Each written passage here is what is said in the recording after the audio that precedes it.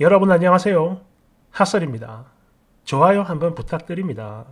이번 시간에는 뭐 그게 언제가 될지는 모르겠는데 적어도 이혼 자체는 확정된 게 아닌가 하는 그런 부부 데리고 왔습니다. 정 털려서 못 살죠. 그럼 봅시다. 제목 엄마랑 나랑 유럽 여행을 가려고 하는데 그동안 며느리 노릇 제대로 못했으니까 우리 엄마도 같이 데리고 가. 야, 네가 드디어 미쳤구나. 원지, 친정 엄마와의 여행에 시어머니도 같이 데려가래요. 제가 지금 휴직 중이라 이제 곧 복직을 앞두고 있어요. 참고로 질병 휴직입니다. 올 가을에 엄마랑 저랑 단둘이 유럽으로 여행을 가려고 하는데요. 갑자기 남편이 우리 엄마도 같이 데리고 가면 안 돼? 이러는 거예요. 황당하잖아요. 그래서 아니 갑자기 그게 뭔 소리야 이랬더니 남편 하는 말이 이렇습니다. 저랑 저희 엄마랑 유럽 여행 가는 걸 시어머니가 알게 됐고 네 맞습니다. 남편이 이야기한 거예요. 어머님은 아들한테 나도 유럽에 꼭 가고 싶은데 이런 이야기를 한 모양입니다. 뭐 말로는 너도 나 좀 데리고 가라 이랬다고 하는데 남편은 열흘 넘게 일을 빠질 수가 없어요. 물론 어머님도 이걸 다 알고 있습니다. 뻔하잖아요. 그래서 남편도 뭐 자기가 좀 힘들겠지만 같이 좀 어, 이왕이면 모시고 가면 안 될까? 나는 시간이 안 나잖아. 뭐 이딴 소리를 계속 나불댑니다. 일단 저는요 이런 부탁을 한다는 것도 어처구니가 없지만 제가 제일 화가 나는 건 바로 남편의 태도입니다. 열흘이 넘는 유럽 여행이 무슨 애들 장난도 아닌데 마치 뭐랄까 그냥 먹는 밥상에 숟가락 하나 더 올리는 거. 딱 이런 식으로 너무나 쉽게 말을 하는 게 정말 열받고 어처구니가 없더라고요. 그러면서 자기는 나는 우리 엄마 모시고 여행 가본 적이 없어. 자기가 마음을 좀 넓게 쓰면 안 될까? 이러고 있는데요. 웃기는 게 저도 마찬가지예요. 저도 저희 엄마랑 여행을 거의 다녀보지 않았던 딸입니다.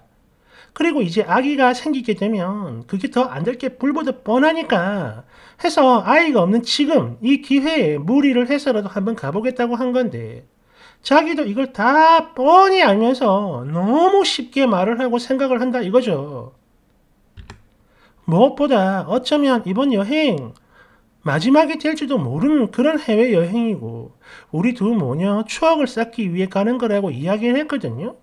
근데 여기서 시어머니가 끼어들면 그게 과연 추억이 되겠냐고요.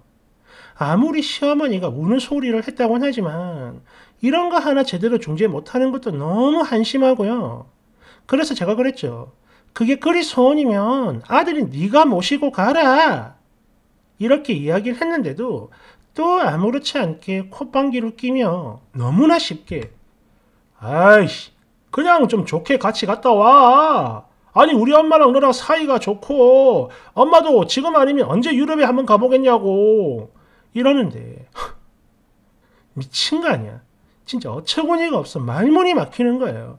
그러다가 너 지금 그거 진심으로 하는 말이냐? 이렇게 한 번 더 물었더니 어 진심이지. 만약 내가 너였다면 아무리 힘들어도 무조건 모시고 갔을 거야. 어? 그렇잖아. 우리는 젊어가지고 앞으로 여행 갈 기회가 많이 있을 테지만 나이 많은 어른들은 그게 아니잖아. 우리하고는 다르지. 그리고 유럽 이거는 우리 엄마가 옛날부터 가고 싶었던 곳이고 또 네가 평소 엄마한테 잘하니까 내가 이렇게 부탁을 하는 거지. 너 아니면 내가 이런 부탁할 수 있겠어? 그리고 너 그동안 아파가지고 며느리 노릇 못한 것도 있으니까 어 이번 기회에 우리 엄마 섭섭했던 거 풀어드리면 좋잖아. 어? 일단 미친 소리를 아무렇지 않게 해대는데 와 진짜 아니 내가 몸이 아파서 휴직을 하고 병원에 다녔던 거랑 당신이 섭섭해하는 게 도대체 무슨 연관이 있는지도 모르겠고요. 설사 섭섭한 게 있다 하더라도 마찬가지죠. 마치 그게 내 잘못 때문에 그런 거라는 이 미친 태도. 네, 여기서부터 저도 말이 좋게 안 나갔어요. 아니, 미친 거 아니냐? 도대체 그거랑 나랑 무슨 상관이 있다는 거야? 그냥 나 마음 편하게 보내주면 안 되는 거야? 막말로 내가 너한테 돈을 달라는 것도 아니고 도대체 왜 이러는 건데? 그리고 뭐? 반대라면 당연히 모시고 갔을 거라고? 사람이 말 그렇게 쉽게 하는 거 아니야. 이러면서 결국엔 싸움이 났는데요. 솔직히 저는 그래요. 이번 일 저희 남편 당연히 좋게 배려해 줄 거라 여겼습니다.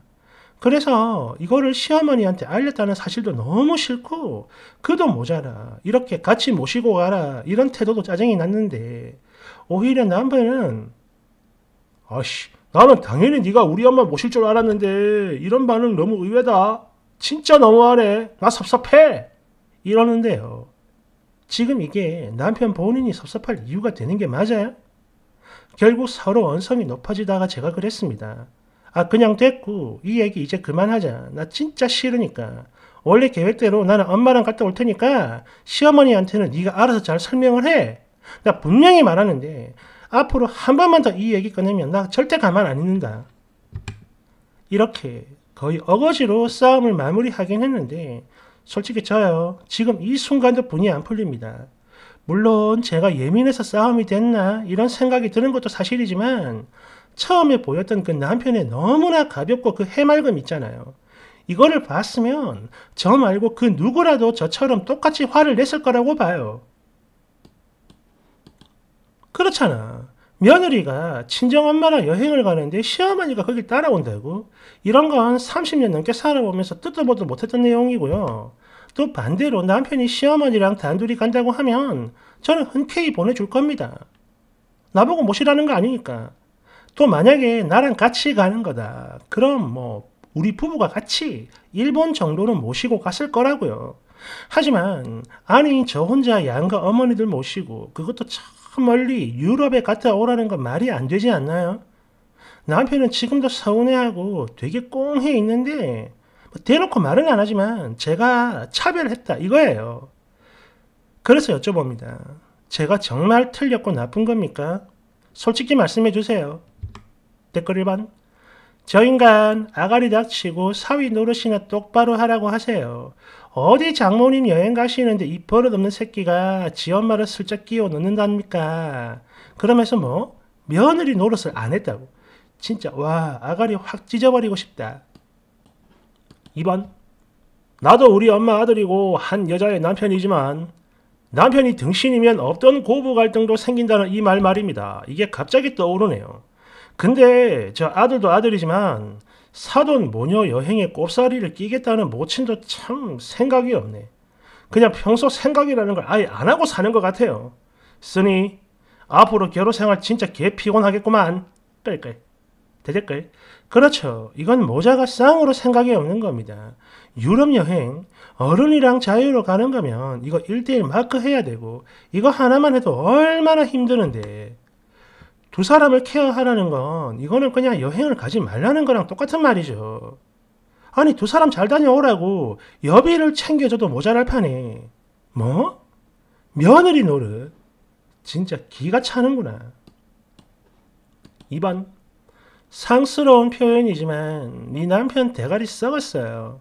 고부 사이를 끊고 싶어 아주 대놓고 환장을 했구만. 아니지 그냥 이혼이 하고 싶은 건가? 그런 건가? 왔으니 저런 거랑 평생 어떻게 살아요? 말하는 거 한마디 한마디가 진짜 살인 총론까지 올라오는 것 같은데 아이 없을 때가 기회인 것 같아요. 안 그래요? 맞잖아요. 혹시 시어머니가 쓰니 아플 때 간호해줬습니까? 그건 아닐 거 아니야. 근데 뭐가 서운해? 뭐 미친 거야? 그리고 장모님한테 뭐 얼마나 대단한 걸 해줍니까? 세상에 이런 쌉소리를 할 수 있다는 게 나 너무 놀랍다. 4번 야 나도 아들이지만 이 자식은 진짜 미친 거 아닌가? 아니 유럽이 뭐 동네 뒷산이라도 되는 줄 아는 거야? 등산 가냐 이 자식아? 5번 엄마랑 딸이 오붓하게 가는 여행에 시어머니가 끼겠다고? 아니 이게 여행이야? 말이야 방구야. 쓰니 엄마 지금 속으로 엄청나게 기대하고 있을 텐데 거기 사돈이 같이 있으면 얼마나 불편하겠냐고요. 와, 이 자식은 무조건 지 엄마 하나만 생각하고 자기 아내랑 장모님 입장은 생각을 아예 안 하는 거네. 안중에도 없는 거지. 아니 그리고 며느리가 아프면 시어머니 눈치를 봐야 돼? 뭐 얼마나 대단한 집안이길래 이딴 개소리를 함부로 해? 쓰니 남편 혹시 재벌 3세라도 되는 겁니까? 만약 재벌이고 쓰니가 맨몸으로 취집한 거면 그러면 인정. 6번 경험자가 말하는 건데 유럽 여행은 정말 장난 아닙니다. 장거리 비행에 시차 적응 정말 많이 걸어야 되고 음식도 하나도 안 맞고 엄청 힘들어요. 참고로 저는 저 혼자가 아니라 저랑 언니들까지 총 3명이 저희 친정엄마 딱 한 분을 모시고 유럽 다녀왔었는데요. 이렇게 딸 셋이 엄마 한 분 케어하는 것도 결코 쉽지 않았거든요. 관광지마다 사람이 너무 많아서 구경하는 것도 힘들고 그냥 엄마한테 초밀착 케어하기도 바빴습니다. 그러니까 쓰니 감정 이렇게 앞세우지 말고 그냥 계획대로 하세요. 그리고 내년이나 휴가 때 부부가 같이 뭐 동남아든 일본이든 시어머니 모시고 가는 걸로 조율해 보시길 바랍니다. 분명히 말하는데요. 쓰니 혼자 두 어른 모시고 가잖아요. 정확히 이틀 만에 모든 정신과 체력이 다 방정되고 사라져버릴 거라고요. 7번. 네가 아파가지고 며느리 노릇 똑바로 못한 것도 있잖아. 와 이거 진짜 소름 돋는다. 미친 거야. 8번. 아니 이게 뭐야? 정말 미친 거야? 도대체 평소에 뭔 생각을 갖고 살면 장모님이랑 아내 이 두 사람이 가는 모녀 여행이 자기 엄마를 끼워 넣을 수가 있냐 이거예요. 지금 이게 누구를 위한 여행이야? 모두가 조심스럽고 어려운 여행 아닌가? 딸이랑 엄마가 여행 가겠다는데 시어머니 같이 가봐라. 이런 발생 자체가 거지 같은데 쓰니 이런 거랑 살 수 있겠어요? 9번 아니 지금 이건 여행이 문제가 아닌데요. 며느리 아플 때 시모가 아들한테 얼마나 흉을 많이 봤으면 아들내미 입에서 며느리 노릇 안 했잖아! 이런 소리가 나오냐고. 말 그대로 죄인 취급하는 거고 여행으로 그 죄를 갚아라 이건데 특히 자기 엄마 말을 고지 곧대로 전하는 거 이거 절대 용서 못해. 나는 이런 거랑 못 산다고 봐요. 이혼하지. 아내 아픈 거 걱정하는 게 아니라 그냥 불만 있다 이거 아니야. 이런 거랑 애 가지면 너 인생 진짜 조질 것 같은데 괜찮겠어요? 10번. 아니 아파가지고 휴직까지 했는데 며느리 노릇을 못했다고? 쓰니 이 말 듣고 참을 수 있어요? 저라면 농담 아니고 바로 이혼합니다. 남의 일이라고 쉽게 말하는 거 아니라고요 이거. 11번. 부부가 같이 어머니를 모시고 가자 해도 안 될 판인데 뭐 셋이 가라고? 끌끌끌 그리고 아파가지고 휴직까지 한 자기 아내한테 며느리 노릇이? 야 엄마 섭섭한 걸 이 기회에 풀어봐라. 아니 이 자식 뭐야? 혹시 대가리가 뱀인가? 뇌 딸이 풀리는 소리하고 자빠졌네. 거기다 이런 거랑 애를 낳겠다는 쓰니도 참 대책 없어요. 12번. 야 내가 만약 시어머니라면 먼저 같이 가자 해도 불편해서 싫을 것 같은데 지가 먼저 따라가겠다고? 며느리가 그냥 종년이었던 거네. 얼마나 만만하게 보면 이런 말을 할 수 있겠냐.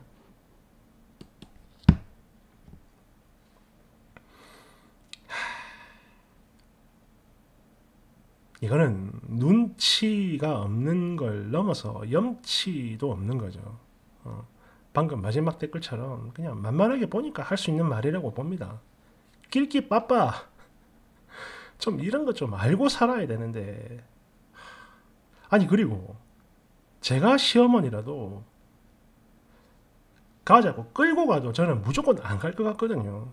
그 여행 되겠습니까? 불편해가지고 어? 아들도 같이 가면 또 모를까. 정말 납득이 안 되네. 아무튼 좋아요 한번 부탁드립니다. 고마워요.